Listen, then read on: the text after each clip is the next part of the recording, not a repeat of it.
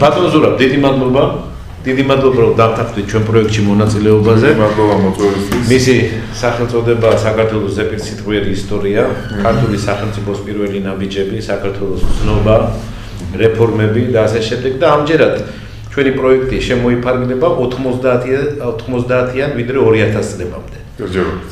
ჯერჯერობით. დიახ, შემდეგ გავაგზავნებთ, მაგრამ თქვენ ამ პერიოდში ძალიან აქტიურად იღებდით მონაწილეობას საქართველოს პოლიტიკურ ცხოვრებაში, იყავით რამოდენიმე მოწვევის პარლამენტის წევრი, აჭარის ზუზენაის საბჭოს წევრიც ბრძანდებოდით და უშუალოდ იყავით ამ მოვლენების შუაგულში იღებით მონაწილეობას სხვა სხვა პოლიტიკების ჩამოყალიბებაში. იქნებოდა ეს ფინანსური, საგარეო თუ ბუნების დაცვა. ამიტომ თქვენი მოსაზრებები ჩვენთვის ძალიან ღირებულია. დიდი მადლობა კიდევ ერთხელ. ნე რომ დავიწყოთ, როგორ მიგაშენდა ბატონო, რამდენად მზად იყო საერთოდ საქართველოს დამოუკიდებლობისთვის? პოლიტიკურად, ეკონომიკურად, იდეოლოგიურად თქვენი მოსაზრება ამის თაობას. ნუ რაღაც ცოტა უფრო ადრინდელ პერიოდზე მოგიყვებით მაშინ ჩემს შტაბ-ეძილებებს 90 და 91 წლებში. ნუ საბჭოთა კავშირია ჯერ კიდევ და დღევანდელ ესტონეთში მუშაობ, თუ მაშინაც ესტონეთი იყო, ანუ საბჭოთა კავშირი იყო შესაბამისად უნივერსიტეტის შემდეგ და მე მქონდა სრული განცდა იმ პერიოდში მუშაობის დროს, რომ ესტონეთი დიდი ქარცეცხლის garaში ამოვლენებს ვერ გადაიტანდა, იმდენად სერიოზული იყო წინააღმდეგობა ტალენში, სადაც მე მუშაობდი. და დარწმუნებული ვიყავი, რომ საქართველოს ძალიან ადვილად გაივიდა ამ პერიოდს ყველანაირი კონფლიქტის დაპირისპირების garaში და მეორე უფრო ადვილად მოდი ასე ვთქვათ. რომ არ დაგიმალოთ ახლა იმ მომენტში ზუსტად არ მიფიქრია რომ თქვათ დამოუკიდებლობას ასე ადვილად ადვილად რა ასე ჩხარა მოიპოვებდა საქართველოს. კავშირი ასე მალე დაიშლებოდა ამის განცდა ადვილად არ მქონდა მაგრამ სრული განცდა მქონდა ესტონეთში მუშაობის დროს რომ ძალიან დიდი ქარცეცხლი უნდა აღებული იყო ესტონეთში იმდენად სერიოზული საზოგადოებაში დაპირისპირება განსაკუთრებით ტალენში კიდევ ერთხელ მეორე ქალაქი რომელიც ფაქტობრივად ნახევარი ნახევარზე იყო რუსული და ესტონური მაგრამ აღმოჩნდა რომ შევწდი. აღმოჩნდა რომ ესტონელების სიმშვიდე ასე ვთქვათ არაკორუმპირებულობა რაც ბევრი უფრო მნიშვნელოვანი ფაქტორი აღმოჩნდა საკოლო ჯამში. და კიდევ სხვა მრავალი ფაქტორი აღმოჩნდა საკმარისი იმისთვის რომ მის სერიოზული დაპირისპირება რაც მაშინ მაგალითად ტალინში იყო საერთოდ დამთავრებული იყო კონფლიქტის გარეშე. აი მაგალითისთვის რომ მოგიყვანოთ ჩვენ ჩვენ ლაბორატორია რომელიც სახელმწიფო და კალაგარეთ იყო ვირტუალური ლაბორატორია იყო, ვირტუალური გამოსხივების ლაბორატორიაც იყო მათ შორის და ერთ-ერთ ლაბორატორიის ხელმძღვანელი იყო არაესტონელი და თელი ლაბორატორია იყო არაესტონური შესაბამისად, მეორე ნაწილის ლაბორატორიის ხელმძღვანელი ესტონური იყო, თელი ლაბორატორია ესტონური შესაბამისად. მაგალითი რომ მოგიყვანოთ უბრალოდ. და მე და ჩვენ ლაბორატორიის ხელმძღვანელი ვიყავით მხოლოდ ორი ადამიანი, რომელიც კავშირი მქონდა დანარჩენ თან რესტორანებთან, ასე ვთქვა. დანარჩენ საერთოდ არა, ეს ასეთი იყო და ასე იყო მთელი ქალაქი, ასე იყო მთელი ვითარება და თან ეს რაღაც გაყოფილი ლაბორატორია, საზოგადოება თავიდან ბოლომდე შუაში იყო გაყოფილი, თან რატო ამბობ ახლა შეიძლება იყოს გაყოფილი 90-10-ზე და ემათ პროცენტს არაფრის გაკეთება არ შეეძლოს. მაგრამ ახლა ამას ეს სხვა რამისთვის მოიყვანა მთელი ამ პერიოდის განმავლობაში არც ერთხელ არ მომხდა რომ ჩვენს შენობაში მომუშავე ესტონელებს ერთხელ მაინც გაეცდილათ სამსახური. ერთხელ მაინც დაეგვიანებინათ და ერთხელ მაინც წასულიყვნენ ნადრე. მის მიუხედავად რომ სულ რაღაც დუღდა და სულ იყო იქაც აქციები და სულ იყო რაღაც ყველაფერი და ეს აქციები როგორც წესი შაბათს ან კვირას იმართებოდა და არავის სამსახურს არ აცდა. გეოლოგიის ინსტიტუტი იყო და ამ ხალხის მიერ სამსახურის გაცდენით დიდი არაფერი პრობლემა წესით არ უნდა შექმნილიყო. ახლა იმ მომენტში საბჭოთა კავშირში ან ესტონეთში, მაგრამ ეს იყო ჩამოყალიბებული, ასე ვთქვათ, განცდა ამ ხალხის რომ ყველა თავისი საქმე უნდა გააკეთოს თავის დროს და შესაბამისად ეს იყო ძალიან მნიშვნელოვანი.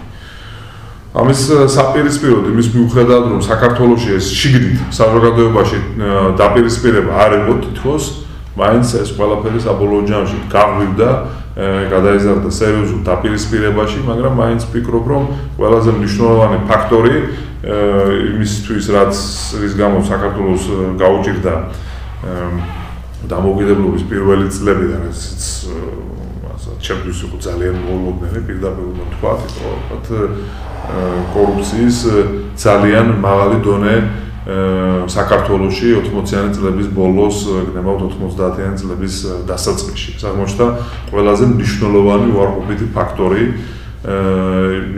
მისთვის, რაც რის გამოც ჩვენ გაგვიჭირდა. ჩანს აი დამოუკიდებლობის პირველი წლები. ცხადი იყო რომ ხელისუფლებაში ახალ მოსული ეროვნული მოძრაობის ძალები სრულად გამოუცდები ვთქვათ მართვაში დაპირ დავარქვათ ამას რაც იყო პრობლემაც იყო იმას რომ თავი დამანებოთ რა როლი ითამაშა სამწუხაროდ მოძრაობის ლიდერებმა საქართველოს შენ დაპირისპირების შექმნაში მაგრამ ყველაზე მთავარი ფაქტორი მაინც აღმოჩნდა რომ ეროვნული მოძრაობის ლიდერებს და ყველა ხალხს ხელისუფლებაში მოდიოდა მართვის გამოცდილება ჰქონდა ნული საერთოდ და მაინც და მაინც სწავლისთვისაც თავს არ იკლავდა ეს პირდაპირ უნდა ითქვას. და თავიდან და ბოლოშიც ყველაფერი არავენ არ იცის. ეს ელემენტარული საკითხია ყველაფერში უნდა სწავლო გარო. მაგრამ სწავლითაც თავი არ მოუკლავთ მაინც და მაინც სამწუხაროდ. იმავდროულად საქართველოს კომუნისტები, ნუ წინა ხელისუფლება ფაქტიურად საერთოდ განერიდა ხელისუფლებას არა მარტო უმაღლეს ეტაპზე, უმაღლეს დონეზე, ბუნებრივი იყო წააგეს, და დასულიყო, მაგრამ უფრო მომდევნო დონეებზეც რაც უკვე აღარ იყო ბუნებრივი და ფაქტიურად იყო ერთადერთი მომენტისთვის გამოცდილების მქონე ძალა, რომელსაც მიიღო უნდა ქვეყნის მართვაში მონაწილეობა. მეორე დონეზე, მესამე დონეზე, მეოთხე დონეზე არ ვამბობ, რომ სახელმწიფოებრივი უნდა ყოფილიყვნენ, ეს არ მოხდა. ერთ იგივე, თუნდაც ესტონეთისგან განსხვავებით. ხელისუფლების შეცვლა იქ მოხდა ძალიან ეტაპობრივად, მოდი ასე ვთქვათ და როდესაც შეიცვალა ხელმძღვანელობა, პირობითად ვთქვათ, პირველი პირები სამინისტროებში და უწყებებში იქ არ მომხდარა სრული და საყოველთაო ცვლილებები, რაც მოხდა საქართველოში, რაც იყო აი საბოლოო ჯამში უკვე შექმნილი დაპირისპირების მიზეზი და ბევრჯერ გვილაპარაკე ამაზე. არა მარტო თქვათ თავრობაში შემდეგ არამედ მეგობრებს შორის რომ აი რამდენად მოულოდნელი იყო ჩვენთვის რომ საქართველოს გამოუჭირდა დამოუკიდებლობა პირველი წლები აგ არ გულისხმობ მე კიდევ ერთხელ ვიმეორებ სამოქალაქო ომს და დაპირისპირებას რაც საკითხია შეიძლება ამის შემადგენელი ნაწილიც არის. ალბათ სავარაუდოდ ამის შემადგენელი ნაწილიც არის, მაგრამ მე ვამბობ აი ელემენტარული საკითხების მოგვარებაზე ზრუნვა და აი კიდევ ერთხელ ვიმეორებ, ეს ძალიან მნიშვნელოვანი განმასხვავებელი ფაქტორი, რატომ არის ერთონად დღესაც საბჭოთა კავშირის ყოფილი რესპუბლიკებს შორის ყველაზე წარმატებული მაგალითი და რატომ იყო საქართველოს იმ პერიოდში ყოველ შემთხვევაში პრაქტიკულად ყველაზე წარმატებელი მხოლოდ და მხოლოდ იმიტომ რომ ეს ხალხი დილის 9 საათიდან საღამოს 6 საათამდე იქს და სამსახურში და ეს ხალხი სამსახურში არ იქს. ესა ძალიან ფუნდამენტალური განსხვავება. და ასე არ არის, შენ შენი საქმეც უნდა აკეთო ნებისმიერ შემთხვევაში. და ვფიქრობ, რომ ეს იყო ხოჭორის არ მოჭდა შემთხვევით, რომ აი ამ თემაზე სულ რამოდენიმე დღის წინ მქონდა სწორედ საუბარი, რამ გამოიწვია ეს განსხვავება, თქო, თქო იყო ნათქვამი ვთქვათ, რამოდენიმე გადაწყვეტილება, რომელიც ესტონელებმა თავის დროზე მიიღეს და ვთქვათ, რა ჩვენ არ მიგვიღია და რატომ არა, იმიტომ რომ ჩვენმა მიიღოთ ჩვენი გადაწყვეტილება. ჩვენ შემდეგ მადლობა ვერც ძალიან ბევრი, ძალიან სწორი, ძალიან მნიშვნელოვანი გადაწყვეტილებები მივიღეთ და დღეს ფაქტურად ჩვენ ბევრს აღარ ჩამოვჭერთ. მაგრამ რამდენი ხანი დავკარგეთ. ჩვენ დავკარგეთ ძალიან ბევრი დრო. ხლა ეკონომიკის ვარდნა 90-იან წლებში 90-იან წლების პირველ ნახევარში საქართველოს იყო ყველაზე ღრმა. ჯამში ტაჯიკეთთან ერთად. ნუ 70% და ვარდნა იყო თუ არ ვცდები, 70-80% ვარდნა იყო პრინციპში. ნუ ძალიან ღრმა იყო გერმანიის მე შემთხვევაში. თან ახლა პირდაპირ უნდა ითქვას, რომ ტაჯიკეთი საბჭოთა კავშირის დროსაც განსაკუთრებული სიმდიდრით არ გამოირჩეოდა და საქართველოს იყო ალბათ უმდიდრეს სამეურში. ჩვენი ჩვენი გა. ხოლო ამიტომ ესეც ესეც ფუნდამენტალურად მნიშვნელოვანი მომენტია. თქვა ჩე გიჭირს, გიჭირდა და გიჭირს ეს ბევრად უფრო ძნელი, ну, ნაკლებად ძნელია. ასე ვთქვა, ვიდრე შენ ვიდრე შენ კითხინა და მოულოდნელად ძალიან გაგიჭირდა. ფსიქოლოგიურად მე ამას ვამბობ და მართვის თვალსაზრისით ვლაპარაკობ ქვეყანაზე და რა ვთქვათ, ახლა ნებისმიერი ადამიანის გაჭირვება და ტრაგედია ცხადია განუზომელია ამ შემთხვევაში შეიძლება, მაგრამ მე ამ შემთხვევაში ვლაპარაკობ თლიანად ქვეყანაზე. რამდენად გაგვიჭირდა ჩვენ ქვეყანას, ხომ აი ამის ესა ამ შეკითხვის არსი. თუმცა კიდევ ერთხელ ვიმეორებ, მე ვფიქრობ, რომ აი ეს მომენტი თქვათ ის რომ ხალხი თავისი საქმით იყო დაკავებული პირველ რიგში, თუმცა ქვეყანა არასდროს არ დაიწყებია.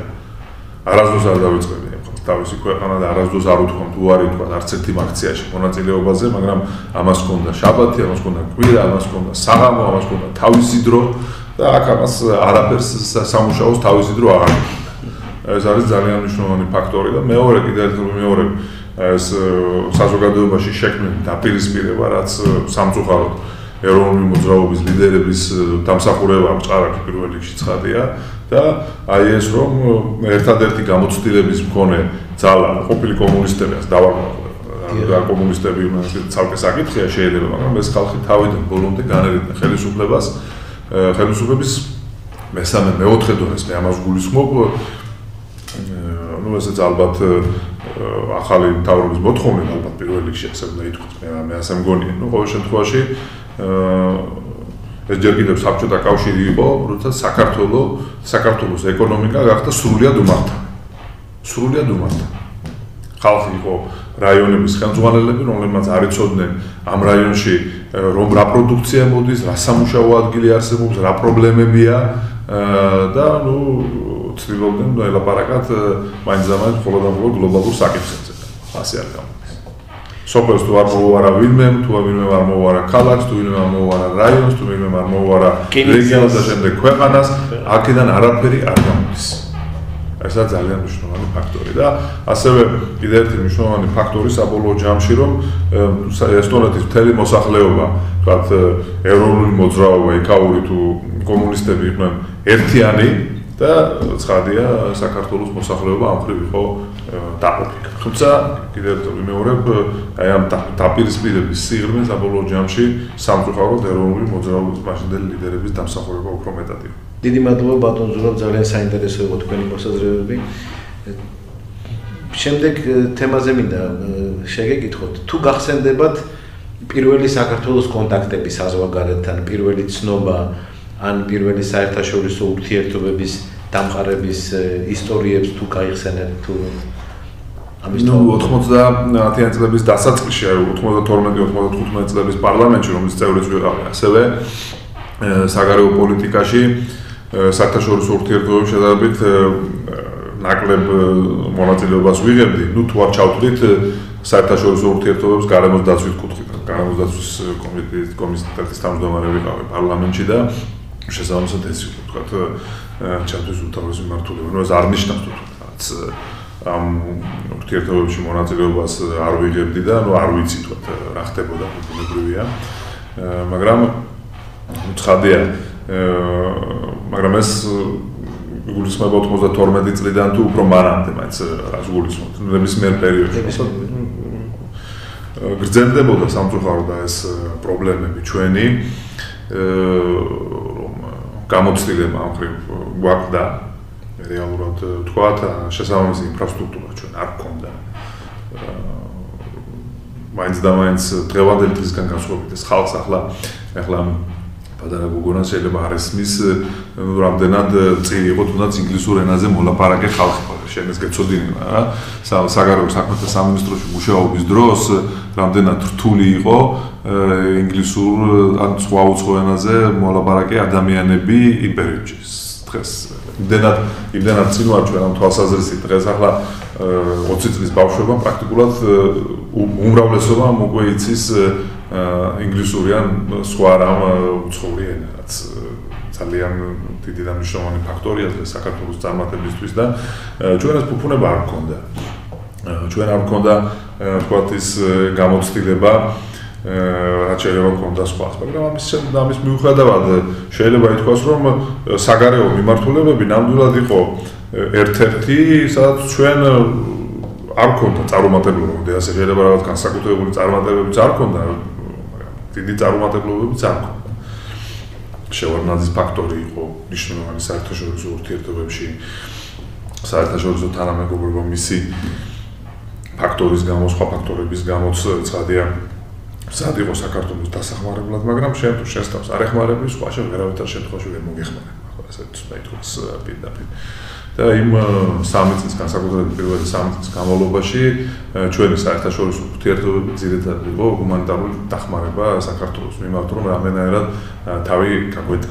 სამწუხაროდ. და როდესაც აი ესა ვითარება რაღაც სერიოზულ სხვა მხრივ წარმატებებზე მნიშვნელოვანზე საუბარი არ არის. მე გულისხმობ ის რაც დღეს გვაქვს უკვე. შედეგად ევროკავშირთან დღევანდელი ურთიერთობები უიზო მიმოსვლა ეს ცხადია უკვე შემდეგი თაობების დიპლომატების თაობების დამსახურება იყო. დიპლომატიური საქმიანობის თაობების დამსახურება იყო. ცხადია ეს არ ეს არ მოსულა დღეს ეს არის გუშინდელი და გუშინწინდელი წარმატება ეს. ამას საფუძველი ჩაეყარა ადრეც ნებისმიერ შემთხვევაში მაგრამ კიდევ ერთხელ ვიმეორებ საგარეო პოლიტიკა იყო ერთ-ერთი ჩვენი წარმატებული ფრონტი ასე ვთქვათ. ყველაფრის მიუხედავად შევარდანის ფაქტორის გამო ცხადი პერიოდში, ვთქვათ, ჩვენი დიპლომატიური корпуსის წარმატებული მუშაობის გამო და სხვა ფაქტორების გამო. ჩვენი გეოგრაფიული მდებარეობა, ეს რომ არა მარტო ჩვენ მჭირდებოდა საერთაშორისო თანამეგობრობა, ჩვენც უჭირდებოდით მათ ყველა ფაქტორის გამო და ასე შემდეგ, მაგრამ კიდევ ერთ მეორე ალბათ ზოგადად რომ გადახედოს ადამიანმა დღეს იმ პერიოდს რთულია შეიძლება თქვა 12-95 წლები წარმატებულად ჩათვლით. თუმცა ახლა ცხადია მარტო წარუმატებლობები არ ყოფილა. ახლა პირველი დიპლომატიური ცნობები, ამერიკელი ელჩი თბილისში, გერმანელი ელჩი თბილისში, თუნდაც რუსი ელჩი თბილისში. ეს იყო ძალიან მნიშვნელოვანი ფაქტორები ჩვენთვის. ის რომ თქვა სტრაფად თუნდაც იგივე გერმანელებმა სწრაფად მიიღეს გადაწყვეტილება საქართველოსში საელჩოს გახსნის შესახებ. იმ დროს როცა ზაგჯერ კიდევ ფაქტიურად გუგუნებდა სამოქალაქო ომი და თბილისი რომ ასე ვთქვათ არათუ სოხობს მაგალითად ამ ცხინვალს არამედ ზუგდიდსაც ვერ აკონტროლებდა. ამ პერიოდზე ვლაპარაკობთ ჩვენ ჯერ კიდევ და ამიტომ ძალიან მნიშვნელოვანი საერთაშორისო მხარდაჭერა მივიღეთ ჩვენ მაშინ და ეს ძალიან მნიშვნელოვანია.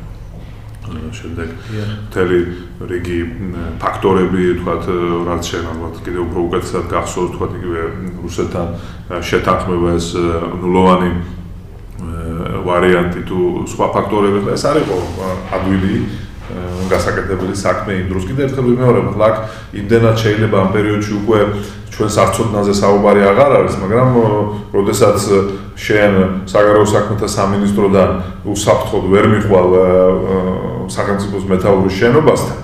ახლა ეს ხალხს კიდევ თუნდაც დღეს ადამიანები ძალიან რთულად წარმოუდგენია, რომ ეს ასე იყო და რომ მიდიხარ შენ აღმოსავლეთ თბილისიდან დასავლეთ საქართველოს მაგალითად მე ჩემს სახლში ბათუმში და ის გარანტია არ გაქვს რომ ჩახო. არ გაქვს გარანტია ელემენტარულად. ესა ვითარება, ისიც ჩვენ გვიწევდა მაშინ მუშაობა და მოქმედება და გზაზე მილიციის და მაინც ნუ მილიცია ჯოხი თავი დავანებოთ რა მე უფრო უფრო მეტხი ფაცე ვლაპარაკო პირიქით ის იმ მომენტში მილიციას რომ დავინახავდით გაგვიხარდებოდა გვიხაროდა. ეს ეს ელემენტარულად იყო ასე. ქუჩაში ავტომატიზირებული სამოქალაქო პირების. ნუ ხო, ხო, არა, ხო, კიდ კიდ სამხედრო ფორმაში ყოფილიყო ჩაცმული კოჭაჟი ავტომატიზირებული წარმოიდგინე და ნუ მithumetes ადამიანის ფორმა არაცვია და ჩვენ ისე ვიღავთ ამას მაშინ შეჩვეული ხა შეიძლება ითქვას ახლა ვერცმა დაუბრუნოს დღევანდელ ახალგაზრდობას აი ამისთან რამოს თუნდაც შეეჭვა. ხო უკვე მეც ალბათ გამიჭirdება სერიოზული დისკომფორტი მექნება და და ქუჩაში რომ გამოვიდე და ვინმე ავტომატიანი ადამიანი დავინახო მაშინ ეს ჩემთვის იყო ჩვეულებრივი ამბავი იქ სადაც როლა ატყდებოდა საერთოდ არც ვიყურებოდი იმდანად ვიყავით ამ ამბავს ჩვენ შეჩვეული და ჩვეული და კიდევ ერთხელ ვიმეორებ არ ქონდა ადამიანს იმის გარანტია რომ სამერთი სამთავრობო შენობიდან მეორე სამთავრობო შენობაში მშვიდობიანად მიხვიდოდიან თქვა თბილისიდან ბათუმში მშვიდობიანად ჩახვიდე. ეს არის ვითარება, რა ვითარებაში ჩვენ გვიწევდა მუშაობა 92-95 წლებში და ამის მიუხედავად ჩვენ ეს პერიოდი გადავლახეთ, ამის მიუხედავად ჩვენ დავიწყეთ ინსტიტუტების შექმნა. ამის მიუხედავად ჩვენ დავასრულეთ კონსტიტუციაზე მუშაობა ძალიან მნიშვნელოვანი ფაქტორი იყო ამაც საფუძველი ჩაუყარა სინამდვილეში საქართველოს შემდგომ წარმატებას. ეს ეს რეალობაა ისიც უნდა ვთქვა ახლა ცხადია თქვი კიდეც ჩვენთვის მოულოდნელად ძალიან გაგვიჭირდა დამოუკიდებლობა. ძალიან გაგვიჭირდა ამ ინსტიტუტების შექმნა. ის კორუფცია გამოყვა ცხადია 90-იან წლებში განსაკუთრებით დასაწყისში ის არაეფექტურობა გამოყვა თქვა და ის რაც თქვი წარმატებული სახელმწიფო შენდება იქ სადაც ჩვეულებრივი ადამიანი დილას 9 საათზე მიდის სამსახურში და საღამოს 5-ან 6 საათამდე მუშაობს ყველა სხვა ასე ვთქვათ საკითხისთვის ყურადღების მიქცევის გარშე. იქ შენდება სახელმწიფო, სასახელო. იქ შენდება სახელმწიფო. რეალურად რომ თქვა. ის როდესაც ყველა ყველაფერში მონაწილეობს, იქ უჭირს ხალხს რეალურად სახელმწიფოს შექმნა. ესეც ესეც ესეც უნდა ითქვას, მაგრამ ნუ ნებისმიერ შემთხვევაში 92-95 წლებმა იმ პარლამენტმა მისი მრავალფეროვნების და სიჭრერის მიუხედავად 26 პარტია იყო წარმოდგენილი ზოგიერთი ერთი ადამიანით დიდი უმრავლესობა. არავის არ ჰქონდა ძალიან რთული პარლამენტი იყო ძალიან რთული იყო გადაწყვეტილებების მიღება. 92-ის არჩევნებში მე მგონი ბარიერი არ იყო და იმიტომაც პრაქტიკულად ყველა პოლიტიკური ძალის ინტეგრირება პარლამენტში. ეს ეს გადაწყვეტილებაც თვითონ რომ ასეთი ტიპის საარჩევნო სისტემა ყოფილიყო ფაქტურად შეგნებულად იქნა მიღებული. იმიტომ რომ იმ მომენტში თქვათ თუ ბევრი პოლიტიკური ძალა დარჩება, რაც უფრო მეტი დარჩებოდა პარლამენტს გარეთ, მით უფრო მეტი პრობლემა და ხმაური იქნებოდა. ანუ რეალურად შეგნებულად იქნა მიღებული გადაწყვეტილება, უნდა ითქვას, ეს არის თქვა შემთხვევითი და ეს არ იყო ისე რომ ეს საპარლამენტო სისტემა ჩვენ შეგვეშალა, არა, ეს ხელოვნურად, სპეციალურად შეგნებულად იქნა მიღებული ეს გადაწყვეტილება. რურავშლანია მიიღო ამაში ძალიან დიდი მონაწილეობა, ცხადია ჩვენც ამას მხარს უჭერდით და შეგნებული გადაწყვეტილება რაში მდგომარეობდა რომ ეს ხალხი იყოს პარლამენტში და იქვი დაოთ, იქვი კამათოთ, ვიდრე ეს ხალხი იყოს ქუჩაში ან სხვადასხვა რეგიონში და შესაბამისად იქვი ჩხუბოთ. ეს ეს იყო თქო განსხვავება. ან ეს 26 პარტია ან ნუ რამდენი იქნებოდა წინასწარ ვინცოდა, მაგრამ ნუ პარტიების დიდი რაოდენობა იქნებოდა პარლამენტში ჩვენ გაგვიჭირდებოდა ცხადია გადაწყვეტილებების მიღება, მაგრამ იქვი დავდით და სამაგეროდ არ ვიჩხუბებდით და მithumetes არ ვიომებდით ქუჩაში. აი ეს იყო ამ გადაწყვეტილების რეალური შინაარსი და ამ გადაწყვეტილება გაამართლა. გამართა ეს ეს არ იყო თქვა თუმცა არ ეგონოს რომ აი მიიღეს 26 პარტია იყო ჯობდა სამი ყოფილიყო სამი პარტია რო ყოფილიყო მაშინ პარლამენტში ჩვენ სერიოზულად გაგვიჭirdებოდა ამ სამი წლის გავლა. ნუ კიდევ ერთხელ ვლაპარაკობ, ქვეყანა ახალ გამოსულია არა თქვა დაპირისპირებიდან, არამედ ფაქტიური სამოქალაქო ომიდან, როდესაც იყო სროლა, როდესაც მოხდა სულიად გამსახურდიას ხელისუფლების დამხობა შესაბამისად ბევრი ადამიანი ამას შეეწირა ეს პრობლემები ჯერ კიდევ გრძელდებოდა ამ 90-იან 92 წელს და შესაბამისად ნებისმიერი სხვა გადაწყვეტილება იქნებოდა საქართველოსთვის ბევრად უფრო საზიანო თქვა ვიდრე ეს. პარლამენტში 26 პარტია შესაბამისად შეგჭირდებოდა ბევრად უფრო მეტი კომპრომისი იმისთვის რომ გადაწყვეტილებები მიგეღო და ეს გარკვეულწილად გაკვეთილი წარმოჩნდა ბევრი ადამიანისთვის. ახლა შემდეგ 92-95 წლების პარლამენტიდან ვინც ვეღარ იყო უკვე შემდეგ პარლამენტში სხვა საქმეა მაგრამ ვინც იყო უკვე შემდეგში და იმის მერე და იმის მერე დარჩა პოლიტიკაში და საქართველოს მთავრობაში ან ოპოზიციაში მათვის ჩემთვის მაგალითად ჩემზე ვილაპარაკებ ხოლმე და სხვების თავისა სიტყვიან ეს აღმოჩნდა უდიდესი გაკვეთილი პირდაპირ თქვა ჩვენ ვიყავით ახალგაზრდა შეიძლება ითქვას ზოგიერთი პატარა ბიჭი მე 28 წლის ვიყავ, როდესაც პირველი პარლამენტის წევრი გავხდი, ახლა მე უკვე ბევრად უფრო ახალგაზრდებიც ყოფილან, მაგრამ თქვათ განსხვავება რა იყო? თქვათ ჩვენ მოგვიწია მნიშვნელოვანი როლის თამაში ჩვენი ახალგაზრდობის მიუხედავად იმ პარლამენტში.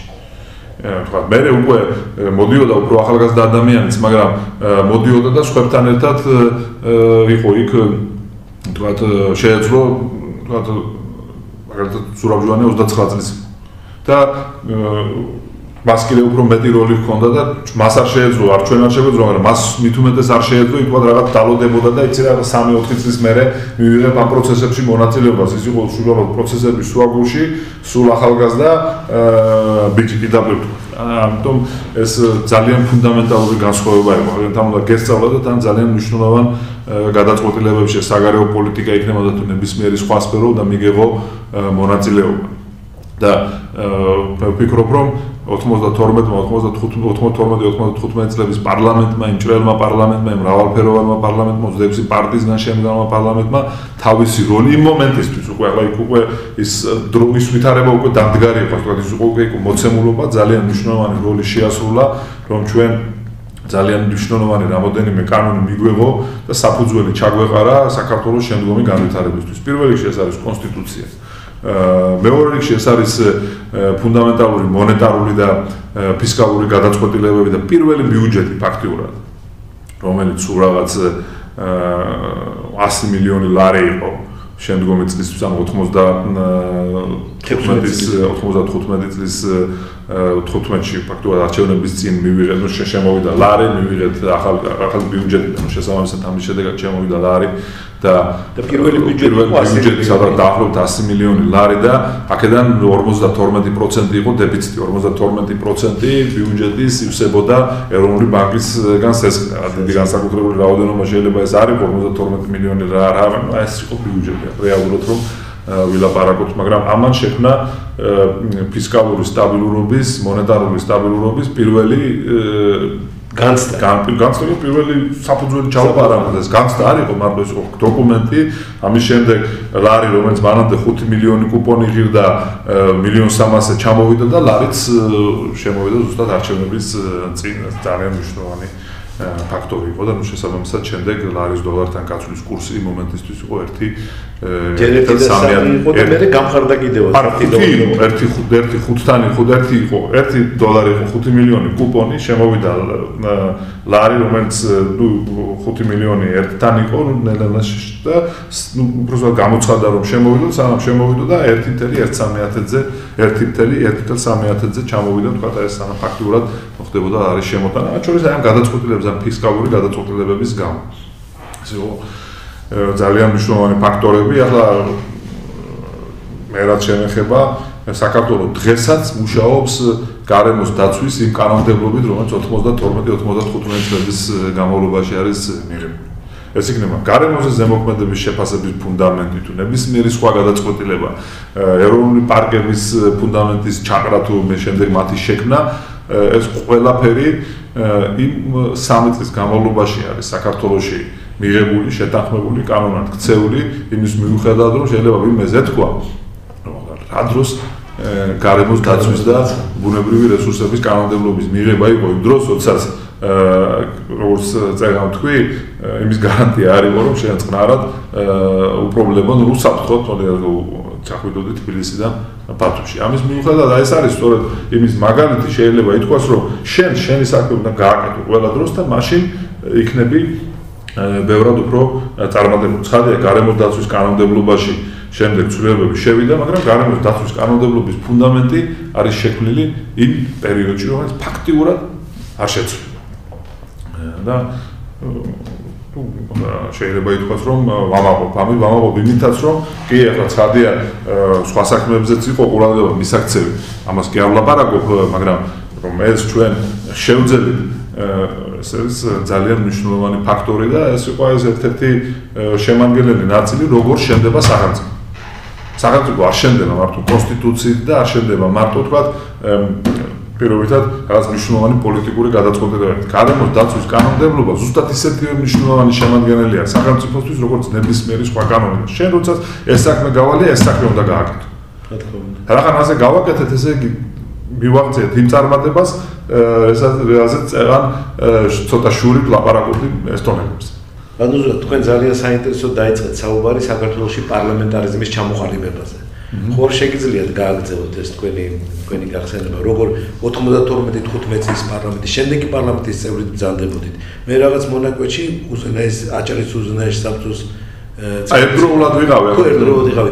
აი ამ პარლამენტის ტრადიციებს და პარლამენტარიზმის ტრადიციებს. ახლა ესეც ესეც შეიძლება ითქვას, რომ 95-99 წლების პარლამენტმა ჩაუყარა საფუძველი ფაქტურად ყველა იმ ტრადიციას, საპარლამენტო ტრადიციას წეს თუგნება ფორმალურს და არაფორმალურს, რომელიც დღესაც მუშაობდა ვამაყობ იმით, რომ აი ამ ტრადიციების შექმნაში ძალიან მნიშვნელოვანი როლი მიმიწვის, როგორც თქვა, აი ამ სამუშაო პროცესის მონაწილეს, არ როგორც გადაწყვეტილების მიმღებს, ან საბოლოო ჯამში პარლამენტის მაშინდელ თავმჯდომარე ზუაბ ჟვანიას უნდა მიიღო ეს გადაწყვეტილებები, მაგრამ ფუნდამენტალური იყო, რომ ეს გეგმები ჩვენ ჩამოვიღალ. მაგალითად ის რომ უნდა ყოფილიყო საპარლამენტო კვირა ერთი და არა საპარლამენტო კვირა მეორე, რომ უნდა დაგვეთმო დრო, თქვა აა ანუ სასესიო კვირა და კომიტეტი ხო ხო სასესიო კვირა და არასასესიო კვირა უფრო ხო ეს ეს ეს ასტორი ტერმინოლოგია.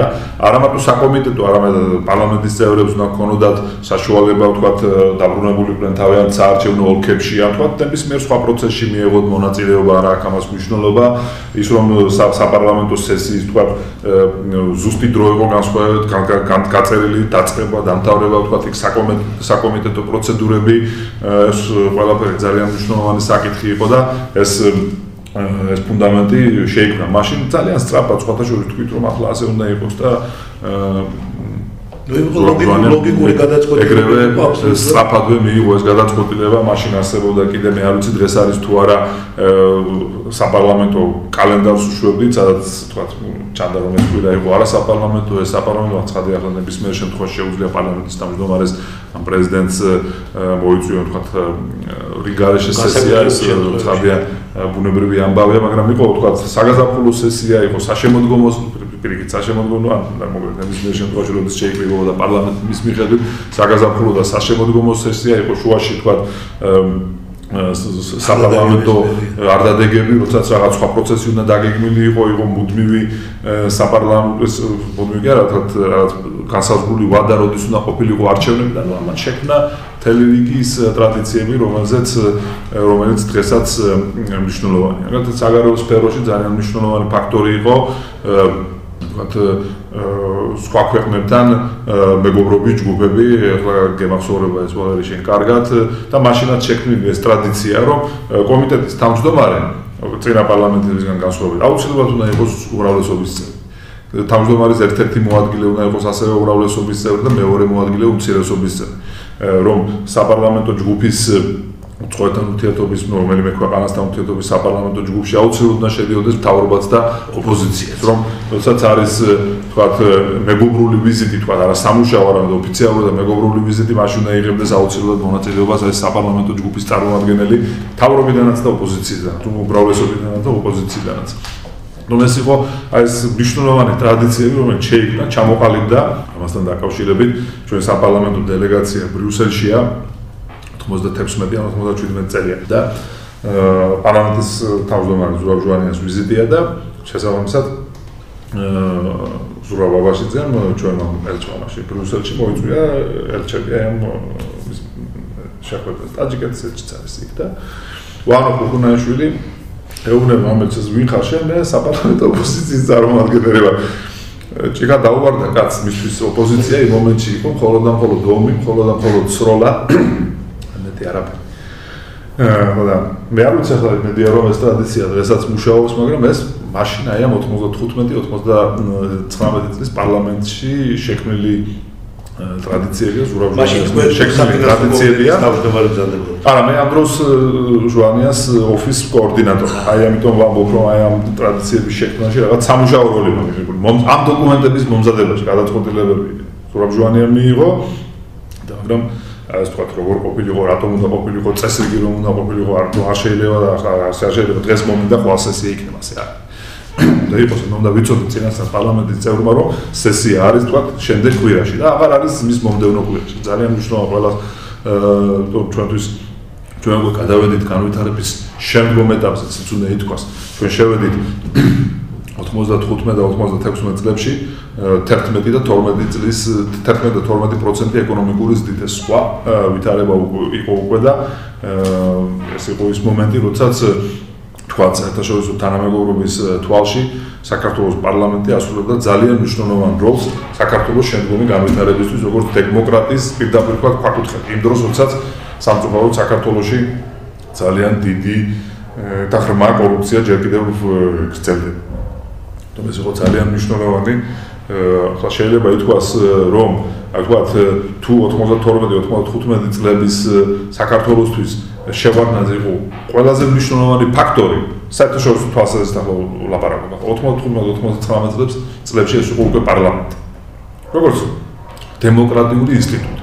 სადაც იყო თავრობა, სადაც იყო ოპოზიცია, სადაც იყო განხილვები, სადაც იყო დელეგაცია, რომელშიც ოპოზიციონერი შედიოდა, და თუ ნახავთ ჩვენ თქვა მაშინდელ შეფასებებს საბიუჯეტო პროცესი რეფორმები კანონები. განხილვა. ახლა ამ შემთხვევაში პროცესზე უბრალოდ ლაპარაკობ ვიდრე შედეგს. და თქვა თუ ნახავთ ჩვენ მაშინდელ შეფასებას ნახავთ თქვა თუ რამდენად მნიშვნელოვანი შეფასებები მიიღო თქვა სახელმწიფო დეპარტამენტისგან მაშინდელმა პარლამენტმა აი ამ თქვა აი პროცედურების ძალიან კაფეულ ჩამოყალიბებაში ეს ძალიან მნიშვნელოვანი იყო. ფუნდამენტი გახდა საქართველოს შემდგომი ასე ასე არ არის რა თქვა ეს რომ ვიმე თქვა რომ 95-99 წლები არ მოვიდოდა 92-95-ის გარეშე და იმის გარეშე არ იქნებოდა თქვა შემდგომი ბევრად უფრო მეტი წარმატება. ასე არ არის. და შესაბამისად არც 92-95 არ იქნებოდა მე-12 საუკუნის გარეშე. მაგალითად. ეს უნდა გვესმოდეს თქვა რა არც ჩვენი დაიწყება არასდროს და დაწყებულა და არ ჩვენი და დამთავრდება მადლობა ღმერთს ეს ყველას კარგად უნდა გვესმოდეთ ახლა ამაზე იმიტომ ვამბობ რომ ზოგ შემდეგ მიეცა განცდა რომ მხოლოდ ის მისი დრო იყო გადაწყვეტილება სახელმწიფოს თქვენ დაიწყეთ საუბარი 95 წლის ეკონომიკურ და ფინანსურ რეფორმებზე.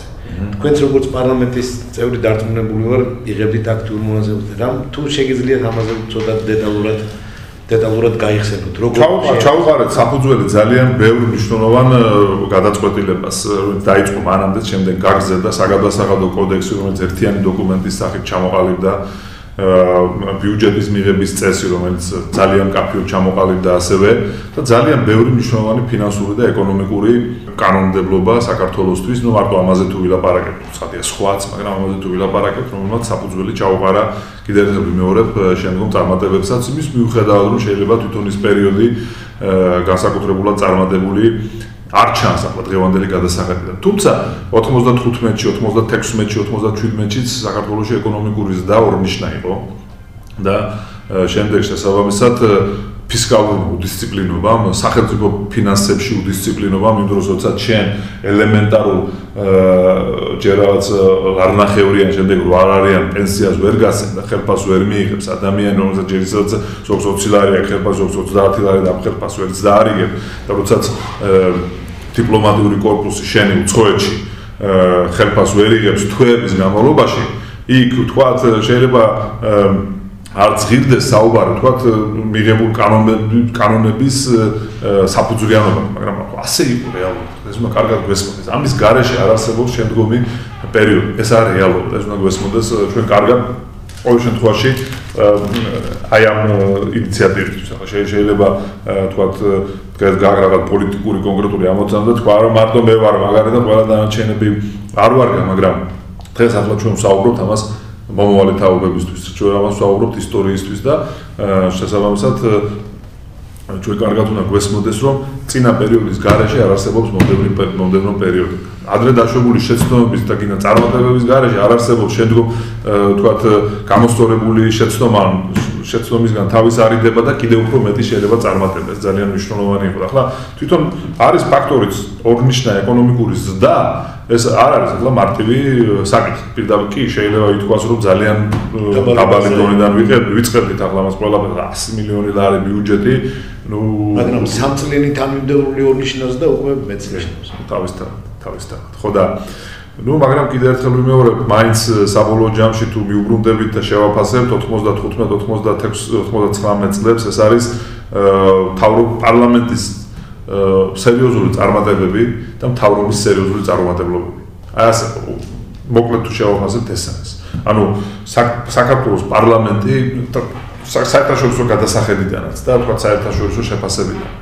საპარლამენტის მიერ დემოკრატიული პროცედურების და თუნდაც საპარლამენტო ინსტიტუტების შექმნა და მთავრობის მიერ კორუფციის კიდევ უფრო მეტად გაღრმავება თუნდაც და ფინანსური დისციპლინის სრულად მოშლა პერიოდისთვის. თაც ახლა განსაკუთრებით თქვა შევედით 92-95 წლების მერე თქვა იმ პერიოდში როდესაც თქვა გაგვიჩნდა ბიუჯეტი პარლამენტს აქვს თავისი ხელფასი უკვე პარლამენტის წევრს თქვა რაღაც ელემენტარული საკითხები გვარდება და მოულოდნელად შემდეგ მასშტაბებელი ხელფასი ვერ იღებს დიპლომატიური კორპუსი ხელფასი ვერ იღებს თვეების განმავლობაში.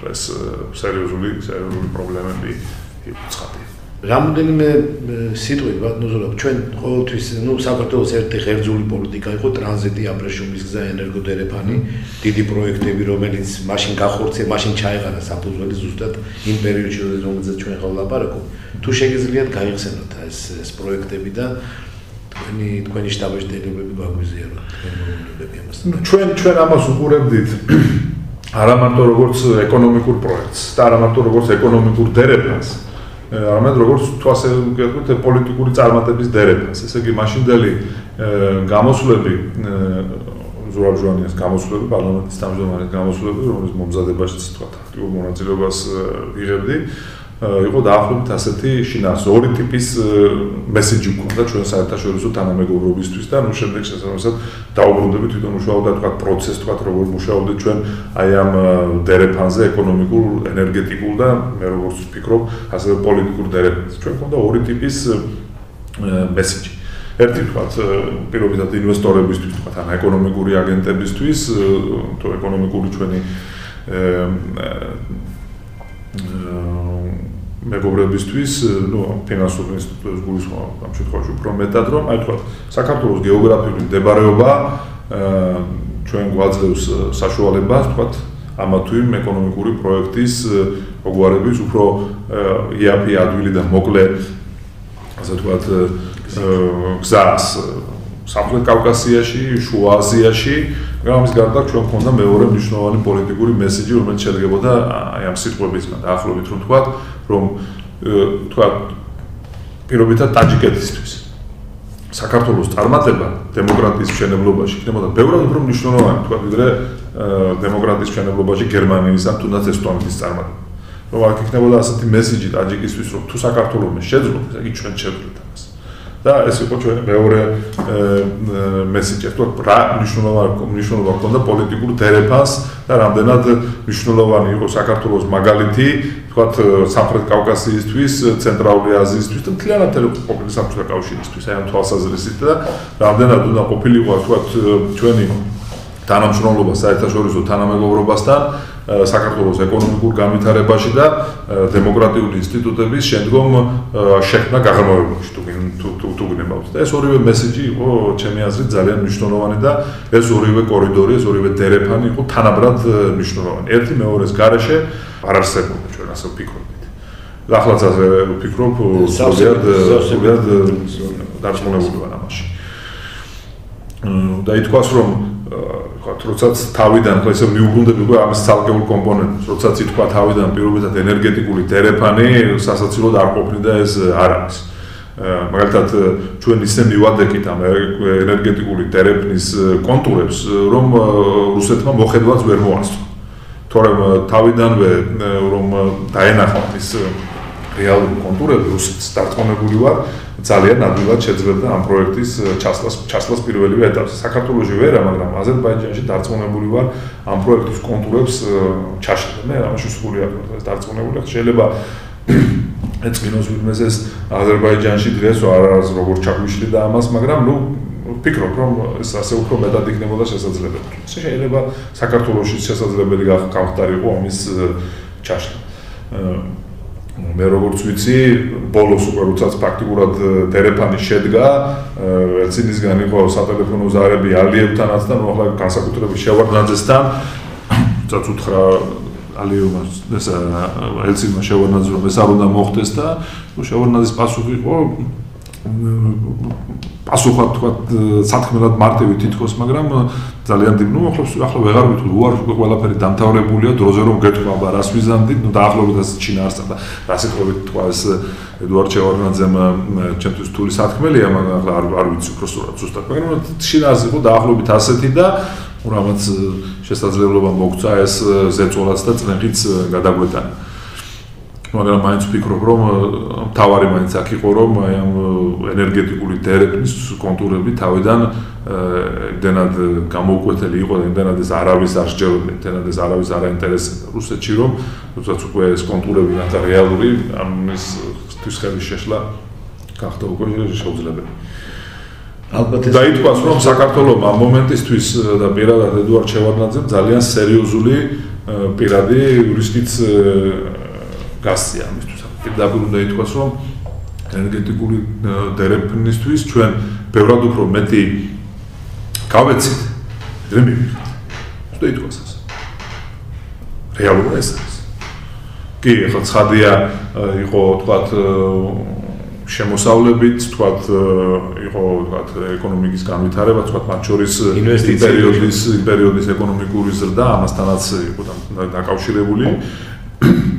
მაგრამ პოლიტიკურადაც ჩვენ ბევრად უფრო მეტი გავეცით ამ თერაპიის შექმნისთვის, თქვა ვიდრე მივიღეთ. ეს ასე უნდა ითქვას და მაგრამ ესეც არის ახლა აღსანიშნავი რომ მე ვფიქრობ რომ ამას ჩვენერად ხედავენ ჩვენი მეზობელი აზერბაიჯანი პირველ რიგში ესეც ესეც მნიშვნელოვანი ფაქტორებია სადღეს ამ თემაზე ვსაუბრობთ უკვე დიდი ხნის მერე ამ საკითხებიდან. ძალიან კაფეოდ ხედავ რომ აზერბაიჯანში ყველა მას ხედავს ყველა მას აფასებს ყველა აფასებს ჩვენს მაშინდელ როლს ყველა აფასებს შევარდნაძის მაშინდელ პირდაპირ თქვა თავგანწირვას ამ პროექტის განხორციელებისთვის და იმ მომენტისთვის შეიძლება შედარებით ნაკლებად წარმატებული აღმოჩნდა ვთქვათ პოლიტიკური კარიდორი თუ გინდას დავარქვათ ან დემოკრატიული კარიდორი, მაგრამ ამან თავისი მნიშვნელოვანი როლი ითამაშა. ჩვენთვის ყოველ შემთხვევაში. მოდი ახლა ასე ვთქვათ, შეიძლება ამ კარიდორმა უკვე მეორე არ ითამაშა განსაკუთრებული როლი სხვა ქვეყნებისთვის, მაგრამ ამან ითამაშა როლი ჩვენთვის. ჩვენ ვართ მე კი არ ვამბობ ან უკეთესი ან უარესი, მაგრამ სხვა ქვეყნა. ჩვენ გვაქვს ჩვენი მომავალი და ის რაც შეიძლება შესაძლებელია სხვაგანის არ არის შესაძლებელი ჩვენთან და ის რაც შესაძლებელია ჩვენთან არის არ არის შესაძლებელი სხვაგან. ჩვენ არ გვაქვს მომავალი დემოკრატიის გარეშე. ეს სახელმწიფო საქართველოს ვერ შედგება დემოკრატიის და დემოკრატიული ინსტიტუტების და ამ დემოკრატიული დერეფნის გარეშე. შემდეგ ამ დერეფანში ვიღაცა ჩვენ აყვება და თქვათ მოგვბაძავს თუ არა, ამას უკვე ჩვენთვის მნიშვნელობა არ აქვს. იყო დრო, როდესაც ჩვენი პირდაპირ თქვა შურდა, იყო მომენტები, როდესაც ჩვენ შეიძლება გარკვეული ეჭვის თვალით ვიყურებდნენ, მაგრამ ჩვენ გვაქვს ჩვენი გზა, ჩვენ გზით უნდა ვიაროთ მხოლოდ და მხოლოდ. და კიდევ ერთხელ მეორე მოგვაძავენ თუ არა ნებისმიერ შემთხვევაში ყველა ხედავს ჩვენს გზაც რაც არის და ყველა ამჩნევს, ყველა ხედავს. შემთხვევაში ლაპარაკობ მხოლოდ და მხოლოდ ამ კარგი კორიდორზე, ამ დერეფანზე, რომ ესა ჩვენი გზაა. და რომ ჩვენ ამ ხრივ ვართ აი ასე გამორჩეული და განსაკუთრებული. კიდევ ერთხელ ვიმეორებ ზოგისთვის შეიძლება უარესი ზოგისთვის შეიძლება უკეთესი მაგრამ გამორჩეული და განსაკუთრებული და ჩვენ ამის garaშე მომავალი არ გვაქვს. ამ ქვეყანაში ნებისმიერი ავტორიტარიზმის და მით უმეტეს დიქტატურის მცდელობა ყოველთვის დამთავრდება წარუმატებლად ეს უნდა ესმოდეს ყველას ნებისმიერ ადამიანს ვინც პოლიტიკაში მიიღებს მონაწილეობას. ეს იქნება ადრე ეს შეიძლება იყოს ცოტა უფრო გვიან, მაგრამ ნებისმიერ შემთხვევაში დამთავრდება მაინც ამ შედეგით. იმიტომ რომ ეს არის აი ეს თქვა საბოლოო ჯამში რომ კარგად გვესმოდეს, მაგრამ ახლა რომ მიუბრუნდე ამ პერიოდს ამ 95 და 99 წლებს სწორედ ძალიან დიდი როლი ითამაშა საქართველოს აი ამ ორივე დერეფნის შექმნაში ეკონომიკური და პოლიტიკური დერეფნების შექმნაში და განსაკუთრებით უნდა ითქვას, რომ პარლამენტმა პოლიტიკური დერეფნის შექმნაში და პრეზიდენტმა ეკონომიკური და ენერგეტიკული დერეფნის შექმნაში. ფაქტურად ეს იყო თავგანწირვა საქართველოს პრეზიდენტის მხრიდან რეალურად. ну, შესაბამისად, მოყვაგებით ძალიან ბევრი თავდასხმა და ტერაქტი მის წინააღმდეგ. ამის ძირითადი არ უნდა ხამაზე ორი აზრი არ არსებობს. ჩვენ შეიძლება ამის პირდაპირ საბუთი არ გვაქვს და შეიძლება თქვა შემსრულებლები უშუალოდ არ არიან თქვა ამასთან პირდაპირ დაკავშირებული, მაგრამ ეს რომ მე 100 და მე ამაში სულად არ მეპარება ეჭვი. ნუ ნებისმიერ შემთხვევაში აი ამ პერიოდმა აი ეს მნიშვნელოვანი საფუძველი ასევე შექმნა. ეს ახლა იმისთვის ვლაპარაკობ კიდევ კიდევ ერთხელ მე რომ ახლა ამას ვინმესთვის მესიჯად კი არა მას საუბრობ იმისთვის რომ ჩვენ კარგად გვესმოდეს წინა პერიოდის garaშე მომავალი არასდროს იმიტომაც მომეწონა თქვენი პროექტი და მზად ვარ რომ დღესაც ვილაპარაკო შემდეგ ხვალაც თუ რაღაც სხვა პერიოდი იქნება თუ უფრო მარტო ფუნდამენტალურად თუ გვინდა რომ ჩვენ გვესმოდეს ჩვენთვის კიდევ ერთხელ მეორე ეს პოლიტიკური დებატისთვის კი არა რომ გუშინდელის garaშე არ არსებობს ჩვენი ხვალენდელი დღე. საქართველოსი იყო ფაქტიურად დემოკრატიული ინსტიტუტი დემოკრატია დარბაზის სახით მე-12 საუკუნეში არსად რომ არ ყოფილა ასეთი ცნება და საქართველოს იყო ბევრად უფრო დემოკრატიული სტალინის პერიოდშიც კი. იმ დროს როდესაც ნებისმიერ ადამიანს შედარებით ლაპარაკობ, როდესაც ნებისმიერ ადამიანს ყოველგვარი სასამართლოს garaშე დახრდნენ, გააციმბირებდნენ ან თუნდაც რასაც კიდე იმას უთხრა ნებისმიერ შემთხვევაში ისეთ დიქტატორსაც კი როგორც სტალინი იყო ესმოდა რომ საქართველოსში ბევრად უფრო მეტი დისკუსია სჭირდებოდა ნებისმიერ საკითხს ვიდრე ეს ნებისმიერ სხვა ადგილას. კიდევ ერთხელ ვიმეორე მე არ ვამბობ რომ ჩვენ უკეთესი ვართ ან უარესი ვინმე სხვა ჩვენ აი ასეთი ვართ ეს ვართ ეს ვართ ჩვენ და ჩვენ ჩვენი გადაწყვეტილებებისთვის უნდა გვესმოდეს რომ აი ამ საზოგადოებაში ეს გადაწყვეტილებები მიიღება. აგერ მაგალითიც მოვიყვანო რომ ჩვენ ძალიან გაგვიჭირდა 80-იანი წლების ბოლოს და 80-იანი წლების დასაწყისში, მაგრამ საბოლოო ჯამში ჩვენ აი ამ გზას ვადგავართ. და აი ამ გზაზე აი ამ ორი დერეფნის შექმნაში ძალიან მნიშვნელოვანი როლი ითამაშა აი ამ პერიოდში. დიდი მადლობა ბანაზურად. მე არ შემიძლია რომ თქვენ არ გითხოთ განსაკუთრებულად ზურაბ ჟვანიას. მე არ ვიცი თუ არის საჭირო თქვა რაღაც ისეთი ნიუანსური მომენტები განვიხი გავიხსენო და განვიხილო. მე არ ვიცი ამ პროექტში ნაცი რა არის. თქვა თქვა რაღაც დეტალური ჩვენ აქ შევხვდით ჩვენ აქ ავილაპარაკეთ თუ რა გავაკეთეთ შეიძლება საინტერესოა ამისთვის რასაც რასაც ძალიან საინტერესოა რასაც თქვენ საჭირო აი მოგიყვებით მაგალითად უბრალოდ მიყვარს ამ მაგალითის მოყოლა ხშირად გერმანიის დელეგაცია საპარლამენტო დელეგაცია თბილისში და ნუ მე როგორც პარლამენტის წევრი მემაგრებული ვარ ამ დელეგაციას დელეგაციის ორი ხელმძღვანელი ყავს ერთ-ერთი მათ შორის კონსერვატორების წარმომადგენელი ფოირტვანგე, რომელიც მე ევროკავშირის კომისარი იყო და შესაძლოა თემი დელეგაცია ყველა პარტიისგან შემდგარი და ნუ ჩემი ჩემი როლია ამ პერიოდში ამ დელეგაციას შეხვედრაზე შემდეგ შეხვედრაზე მიყვება პარლამენტში ყველა შეხვედრის კოორდინაცია და ნუ შესაძლოა შემდეგ შევარნაძესთანაც შეხვედრა. შესაძლოა ჩემი ადგილზე საქართველოს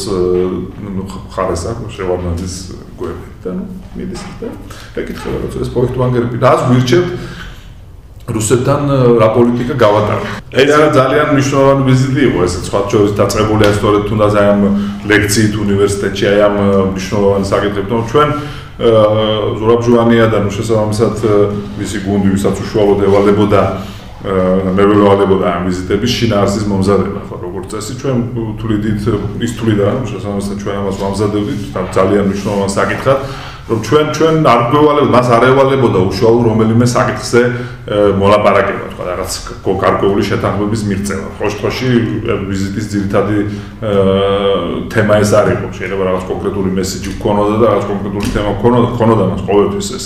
ცალკე გამორიცხული არ არის მაგრამ თავარი იყო საქართველოს პრომოუშენ, ეს დავარქვათ ამას, ამიტომაც იყო თქვა ეს ლექცია უნივერსიტეტში ასე მნიშვნელოვანი ძალიან კარგად მახსოვს რომ მთელი ეს დარბაზი ძალიან დიდი დარბაზი სრულიად სავსე იყო.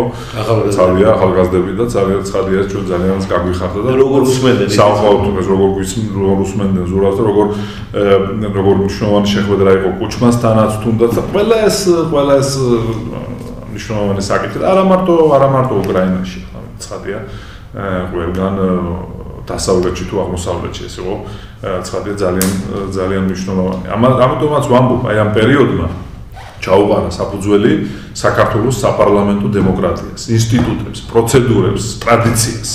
ეს არის ძალიან მნიშვნელოვანი.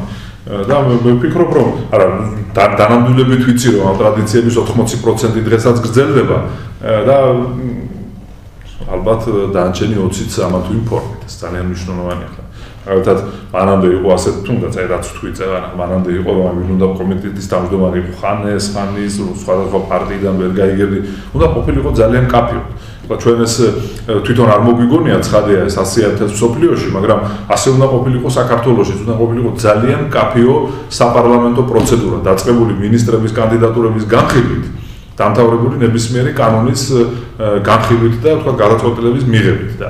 ამიტომ ძალიან მნიშვნელოვანი არის თუმცა უმრავლესობის წარმომადგენელია კომიტეტის თავმჯდომარე მაგრამ იქ ძალიან კაფიოდ არის ასევე წარმოადგენელი ოპოზიცია ეს იყო ძალიან მნიშვნელოვანი და ეს ყველაფერი ჩამოყალიბდა აი ამ პერიოდის განმავლობაში ზურაბჟუანიას ხელმძღვანელობით და ვამაყობ რომ აი ამ პროცესის თანამონაწილე მე განსაკუთრებით გაიხსენოთ ზურაბი ჟვანია, იმიტომ რომ მისი ფიგურა იყო აბსოლუტურად აბსოლუტურად განსაკუთრებული მნიშვნელობით საქართველოს პოლიტიკურ ისტორიაში. მე ვამბობ იმითი, რომ მეც ვიყავი ზურაბ ჟვანიას მეგობარი, მაგრამ შენზე ახლო ზურა მასთან ალბათ ძალიან იშვიათად თუ ვინმე იდგა, შენ თემამ წლების თუ არ ვწები მწვანე მწვანეების მოძრაობით. არა, მანამდეც, მაგრამ ბევრად უფრო მნიშვნელოვანი იყო, ასე ესე იგი ფორმალურად არ ცხადია მე ვიყავი პარლამენტის წევრი.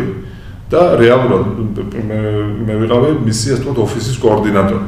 ახლა ცხადია ეს თანამდებობა ფორმალური ვერ იქნებოდა, იმიტომ რომ პარლამენტის წევრი 95-19 წლებზე ვლაპარაკობ, ახლა ეს თანამდებობა ფორმალური ვერ იქნებოდა, იმიტომ რომ პარლამენტის წევრს სხვა თანამდებობის დაკავება არ შემეძლო, მაგრამ იმის გამო რომ სწორედ ზურაბჟუანიას აი ამ საქმეში დავხმარებოდი, ან ეს თხოვა და შესაბამისად მეც ეს ყველაფერი გავაკეთე, იმიტომ რომ აი ეს თქვა ეს ყველაფერი რაც შეიძლება სწრაფად მომზადებულიყო, დაწყებული თქვა უცხოური ვიზიტების მომზადებიდან საქართველოსში ვინმე ჩამოსვლით, თქვა თელი ეს რაც არ ქონდა მაშინ ეს ტრადიცია, წავიდოდა ადამიანი უცხოეთში ჩამოვიდოდა და რა იყო, რა ითქვა, რა საკითხი იქნა განხილული ამის შესახებ ჩვენ არაფერი არ ვიცით და ჩვენ შევქმნით იმის ტრადიცია, რომ მით უმეტეს ანუ მერტა ზოგიერთი ვიზიტ მაგათ ამერიკის შეერთებულ ორი დღით ხო ვერ წახვალა თქვა ჩახვალ თქვა ორი დღით ბაქოში მაგრამ ვერ წახვალ და ვერ ჩამოხვალ ორი დღით ამერიკა წახვალ და დარჩე ერთი კვირა მაინც მთელი შეხვედრები ჩაატარო და სადაც დაახლოებით ერთი თვის განმავლობაში ვქმნიდი შემდეგ ამ დოკუმენტს მაგალითად რა ანგარის ამ შეხვედრების შესახებ შემდეგ ის იგზავნებოდა უშუალოდ საბჭოში შეიძლება ბევრი ამ საიდუმლო არ იყო, მაგრამ ყველას უნდა სწოდროდა ჩვენ რაზე ვილაპარაკეთ. ჩვენ ასე გვესმოდა, ზურაბს ასე ესმოდა, რომ ეს უნდა ყოფილიყო ერთიანი მესიჯი საქართველოს ხრიდან და მისი აზრი იყო, რომ ჩვენი ნებისმიერი განხილული საკითხი ყველას უნდა სწოდროდა, რომ ჩვენ აი ამ ჩვენი საერთო მესიჯის ჩარჩოებში ვართ. ესეც ძალიან მნიშვნელოვანი ტრადიცია, რომელიც ნუ ახლა ბოლომდე ვერ შევქმნით მართლა რომ დავიწყეთ, მაგრამ ინსტიტუციონალიზაცია, ინსტიტუციონალიზაცია რომ ასე ვქოთ, ეს არ ეხებოდა მარტო უცხოურ ვიზიტს, ნებისმიერი ადამიანი საქართველოს ჩამოვიდოდა, ჩვენ ამ საკითხს განვიხილავდით, ის ამ საკითხს უბრალოდ განიხილავდა და ეს შემდეგ ამის შედეგი უნდა წასულიყო სხვასთან, ეს უნდა სწოდროდა სხვებსაც.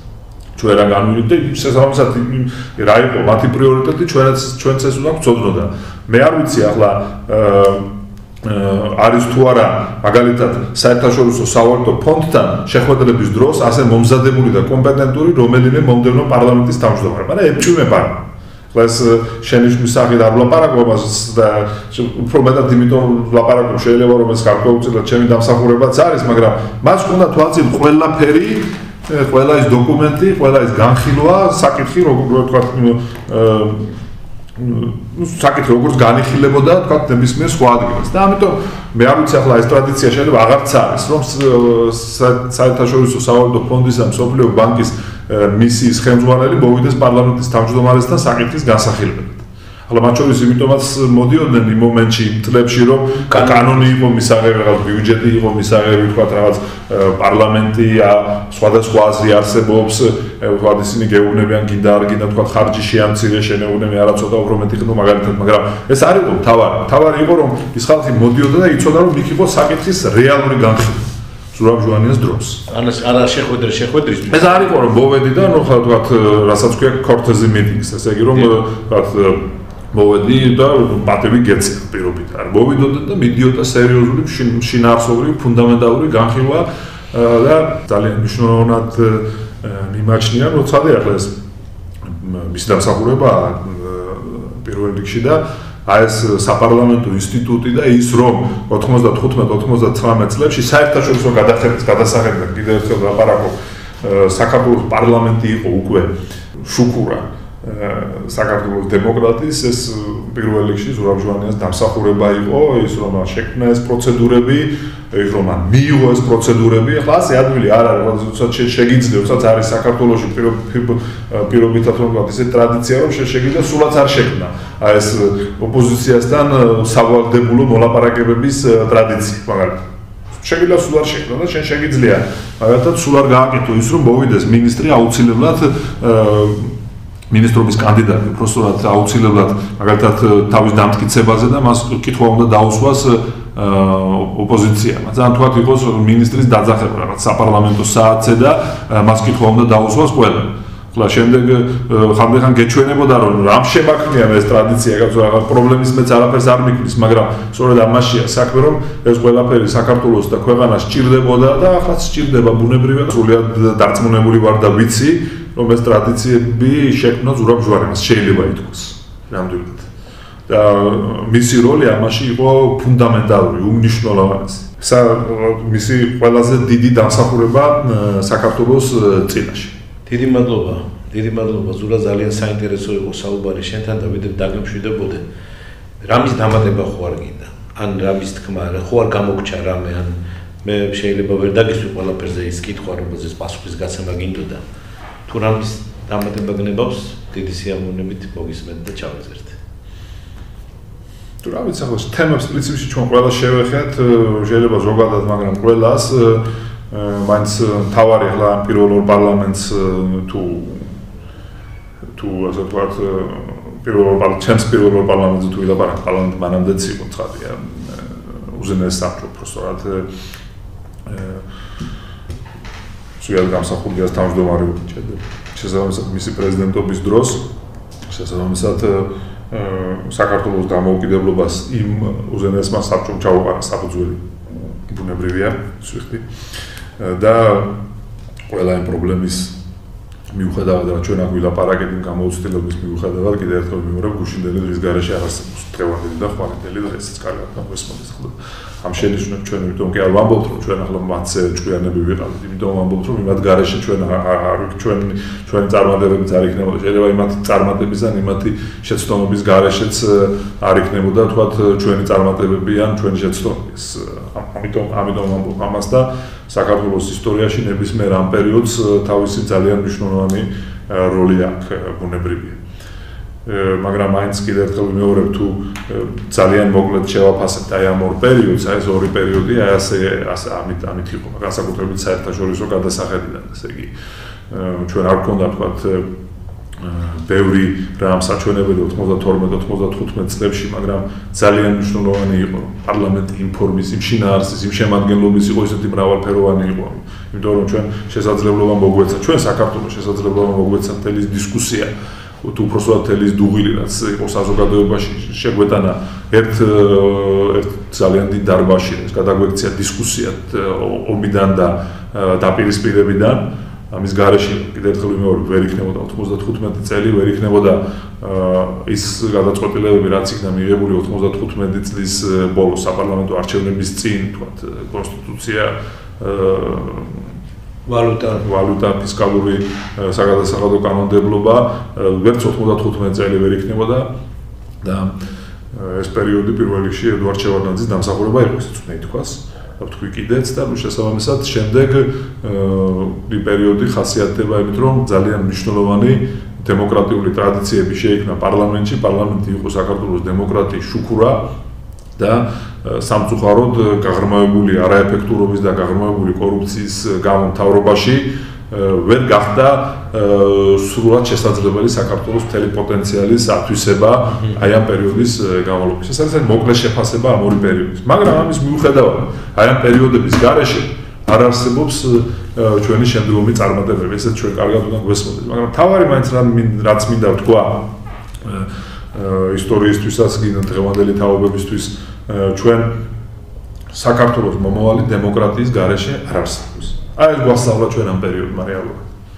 აი ეს გვასწავლა ჩვენ თავარი რამე თუ გვასწავლა, ეს გვასწავლა ჩვენ ამ პერიოდმა და ნებისმიერი დიქტატურის, ავტორიტარიზმის, პატარას თუ დიდის ცდელობა საქართველოსში ნებისმიერ შემთხვევაში ადრე თუ გვიან დამთავრდება წარმატებულად და რაც უფრო არ გაკეთდება ეს მით უფრო წარმატებული იქნება საქართველოს თლიანობაში. ახლა ეს არის გაკვეთილი, რომელიც ჩვენ აქედან უნდა გამოვიტანოთ 1990 წლის პირველი იანვრიდან თუ რა ვიცი 1991 წლის პირველი იანვრიდან 90-იანი წლები და ამ 10 წლეულის დამთავრებამდე აი ეს არის ის გაკვეთილი, რომელიც ჩვენ უნდა გამოგვეტანა და გამოვიტანოთ. და ასე ვთქვათ. სადია ამას კონდა თქვა თავისი შემადგენელი ნაწილები, თავისი სახალისო ისტორიები, მე არ ვიცი ხა კიდევ ერთხელ თუ არის ეს საჭირო იფიქრე შემოვალები და მე ვილაპარაკოთ შენ ბევრი შენს გასვავს ბევრს მაგალითად დამაჯერ ჩვენ ჩვენს გავიხსენებთ და ახლა ამ სახალისო ისტორიების garaშე არ არსებობს ეს. ეს მარტო სახალისო კი არ არის კიდევ ეს ჭუის სასწავლებელი ისტორიებია. მე თვითონ შეიძლება მოგვეჩვენოს რომ თქვათ პირველი ეროვნული მოძრაობა ეროვნული მოძრაობის მიმართ მხოლოდ და მხოლოდ შენიშვნები თქვი, მაგრამ შეიძლება სამართლიანი, მაგრამ მარტო შენიშვნები არ არის ეს დაბეჭდა ითქვას. იმათ garaშე, თქვა საქართველოს დამოუკიდებლობისკენ სტრაფის garaშე არის პერიოდი, არის შემდგომი პერიოდი, არც საქართველოს, არც ჩვენი ჭკუის სწავლება უფრო მეტი შეიძლება, თუმცა თავიდან ახლა ახლა მე იმას კი არ ვამბობ, რომ იმათ არ იცოდნენ მაგალითად და ჩვენ ჩვენც ისევე არ ვიცოდით არაფერი მაგრამ იმათ დაშვებულ შეცდომების შემდეგ ჩვენ მივხვდით ნუ მე შემდეგ ვილაპარაკებ მაგრამ ჩვენ ალბათ უფრო მეტი უნდა გვესწავლა მის შესახებ რა და ეს სხვა შორის არაცხენს სხვებსაც გასაგებია რომ შენ როდესაც მოდიხარ ესეთი საფუძვლი თქვა რა ვიცი რაღაც სამეცნიერო საფუძვლი და შენ არ შეიძლება იცოდე რა ხდება საქართველოს სოფლის მეურნეობაში მაგრამ თუ ეს საქმე ჩაგბარდა მაგალითად გინდა პარლამენტის წევრებს ეს ამ საქმეში და გაერკვე. აი ეს არის მხოლოდ და მხოლოდ გასყო. არავინ არ იცის ყველაფერი ვალი. და შესაბამისად ეს ყველაფერი მხოლოდ და მხოლოდ და ყველას შეუძლია ეს ეს რაღაცა კიდევ ერთხელ ვიმეორებ არა არა ეს გადაწყვეტილება შენ არ უნდა ერკვეოდე თქვა იმაში თქვა როდის უნდა მოხდა და დათესო თქვა და თქვა კონკრეტული პროდუქტი ეს ამას მისი პატრონი ყოველთვის ეყოლება ამას გლექსზე უკეთესად შენ მაინც ვერასდროს ვერ გააკეთე მაგრამ ის რომ შენ მას შეუქმნა სწორი პირობები ამაში გარკვევა სავალდებული სავალდებული ვიტოვებთ უფლებას რომ შემდეგ შემდეგ პერიოდს უფრო საფუძვლიანად გავვლით ჩვენ ოდესაც მივა ჩვენი პროექტი აქამდე იმიტომ რომ მაშინ გაცილებით უფრო მეტი პასუხისგებლობა ქონდა თქვენი გავით პრემიერ-მინისტრი ერთ-ერთი ყველაზე მეტად წარმატებული რომელიც იყო აღიარებული როგორც ყველაზე რეფორმატორი და ამის ჯილდოებიცა მიღებული ქვეყანას არა მარტო თქვენ და მაშინ დაუბრუნდებით ჩვენ საუბარს და ჩავეწერთ ხელახლა თქვენთან. კი ბატონო, კი ბატონო, შეამოვნებით. დიდი მადლობა. მადლობა.